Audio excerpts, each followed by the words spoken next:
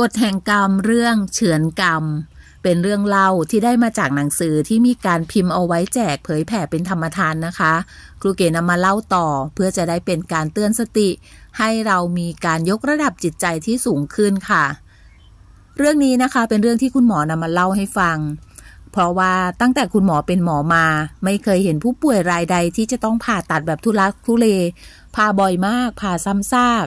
สามปีต้องตัดต้องผ่าห้าครั้ง นั่นแปลว่าหนักหนามากๆเลยค่ะ ทีนี้มาฟังเรื่องราวของคนคนนี้นะคะ ผู้ชายคนนี้ชื่อบุญมา ครั้งแรกเลยที่เข้ารับการรักษาที่โรงพยาบาล เขาเป็นแผลที่นิ้วก้อย แผลนั้นเกิดจากการที่ถูกตะภาพน้ำกัด ตอนแรกหมอให้ยาทา แล้วก็ยากินแก้ปวดแก้อักเสบ ให้กลับไปดูอาการที่บ้าน คิดว่าจะไม่มีปัญหาอะไรแต่ปรากฏว่าครึ่งเดือนต่อมาค่ะ บุญมาเขากลับมาใหม่ แผลมันอักเสบมันบวมใหญ่ขึ้น หมอตรวจพบว่าเชื้อโรคกินเข้าไปในกระดูก จะต้องตัดนิ้วที่โดนกัดนะคะต้องตัดนิ้วตัวนั้นทิ้ง เพื่อไม่ให้เชื้อโรคมันลุกลามใหญ่โต และในที่สุดบุญมาก็เสียนิ้วไปหนึ่งนิ้วค่ะ หลังจากนั้นครึ่งปีต่อมา บุญมาไปเที่ยวทะเลอีกค่ะ ครั้งนี้ก็โดนตะภาพกัดที่นิ้วเท้าเข้าไปอีก อะไรจะเจาะจงได้ถึงขนาดนั้น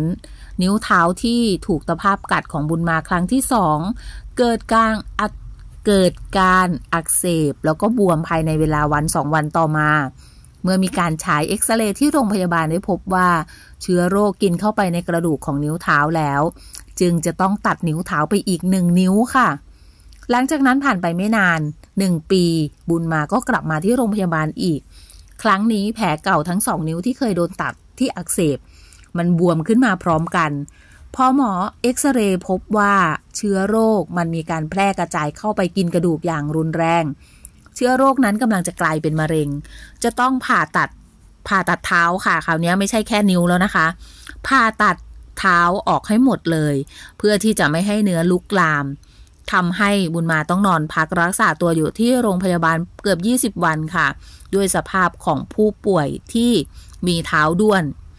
และต่อมาค่ะวันหนึ่งลูกชายของบุญมาบวช บุญมาก็จะต้องไปช่วยงานที่วัด แล้วก็คืนนั้น ทุกคนที่ไปร่วมงานบวชนะคะ ก็จะมีบางส่วนที่เขาจะต้องนอนค้างกันที่วัดเพื่อเตรียมความพร้อมของงานบวชนะคะ ระหว่างที่ทุกคนกำลังหลับไหลอยู่เคราะห์ซ้ำกรำซัดค่ะ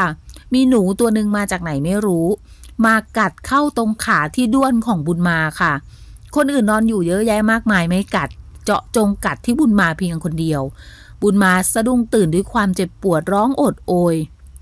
ทุกคนต่างก็ตกใจนะคะเพราะตื่นขึ้นมาแล้วก็เห็นหนูวิ่งหนีไป แล้วก็เห็นเลือดที่แบบว่าเต็มเท้าไปหมดเลย เมื่อมีเลือดซึมออกมาทุกคนก็ตกใจ ปกติเขาก็แปลกใจกันว่าหนูมันจะไม่ค่อยมากัดคนที่เป็นคนเป็นๆนะคะ มันจะไปกัดกินศพกัดไปกินอาหารของเน่าเปื่อยอะไรพวกนี้ แต่ทำไมอยู่ดีๆวันนั้นน่ะหนูถึงมากัดที่เท้าของบุญมาจนเป็นเลือดออกเต็มไปหมด และบุญมาก็ถูกหามส่งโรงพยาบาลอย่างรวดเร็วค่ะ ผลจากการเอ็กซเรย์ปรากฏว่าเชื้อมะเร็ง มันก็เริ่มกินลึกเข้าไปมาก หมอจำเป็นจะต้องทำการตัดแขนขาทั้งสองของบุญมาทิ้ง คราวนี้ลูกลามมาที่แขนก็ต้องมาตัดที่แขนด้วยนะคะ หมอซึ่งเป็นเจ้าของไข้ของบุญมารู้สึกแปลกใจในชนะชะตากรรมของเขามากเลย ว่ามันเกิดอะไรขึ้นทำไมต้องพาผ่าตัดบ่อยๆ แล้วทำไมต้องเกิดเหตุการณ์แบบนี้บ่อยๆ ก็เลยได้ลองถามประวัติของบุญมาอย่างละเอียดค่ะบุญมาก็เลยเล่านะคะว่าบุญมาตอนเป็นชายอายุ 23 ปี มีอาชีพเกษตรกรรม และก็รับจ้างก่อสร้าง ปกติเป็นคนชอบดื่มเหล้าเป็นประจำ แล้วก็ชอบแกล้มเหล้าด้วยปลาน้ำจืด โดยเฉพาะชอบกินเต่า ชอบกินตะภาพ อันนี้จะเป็นอาหารโปรดของเขาเลย เขาจะไปหาตะภาพหาเต่ามากิน บุญมาเคยได้ยินมาว่าใครกินตะภาพน้ำได้ 10ถึง20 ตัวแล้วตลอดชีวิตจะไม่เป็นโรคไขข้ออักเสบ และอีกทั้งตะภาพยังช่วยบำรุงไต อันนี้เป็นความเชื่อที่บุญมาได้ยินได้ฟังมา เพราะฉะนั้นบุญมาก็เลยใช้ช่วงเวลาชีวิตที่เวลา ออกหาอาหารคือออกหาปลาออกหากุ้งหอยปูปลาอะไรต่างๆ เนี่ยบุญมาก็จะหาตะภาพไปด้วย ได้ตะภาพมาก็จะมาทำทำผัดเผ็ดแกล้มเหล้าโอ้โห บุญมาก็จะกินตะภาพเพื่อจะให้ครบ เพื่อจะให้ตัวเองไม่เป็นป่วยเป็นโรคไขข้อนับว่ากินเข้าไปเป็นสิบสิบยี่สิบตัวกันเลยทีเดียวค่ะ แล้วก็นั่นแหละค่ะ วันหนึ่งบุญมาซื้อตะภาพน้ำตัวใหญ่จากตลาดมาตะภาพน้ำตัวนี้น้ำหนักตั้งสิบกว่ากิโลกรัม เขาดีใจมาก เพราะว่าตะภาพน้ำตัวนี้ตัวใหญ่ ขนาดค่ากินทีเดียวไม่หมดแน่ๆ จะต้องค่อยๆกิน และที่บ้านของบุญมาไม่มีตู้เย็นให้แช่ จึงต้องกินไปทีละนิดทีละหน่อยตาภาพน้ำเป็นสัตว์ที่มีอายุยืนไม่ตายง่าย ๆ ไม่ว่าจะถูกถูกกักขังเอาไว้ในสภาพใดก็มีชีวิตอยู่ได้เป็นปี บุญมาเห็นแก่กินไม่นึกถึงว่าตาภาพจะต้องทนทุกข์ทรมานคำว่ากินทีละนิดทีละหน่อยของบุญมาไม่ได้แช่ตู้เย็นไว้นะคะ ค่อยๆเฉือนเนื้อตาภาพทีละนิดทีละหน่อยออกมาผัดออกมากิน โดยที่ตาภาพตัวนั้นยังมีชีวิตอยู่และยังไม่เสียชีวิตตาภาพต้องได้รับการเจ็บปวดทรมานอย่างแสนสาหัส ซึ่งก็ไม่รู้จะอธิบายหรือว่าบอกได้ยังไงนะคะ นั่นแหละค่ะ การที่บุญมาค่อยๆ เฉือนเนื้อตะภาพส่วนต่างๆมา ปรุงอาหารทีละนิดทีละหน่อย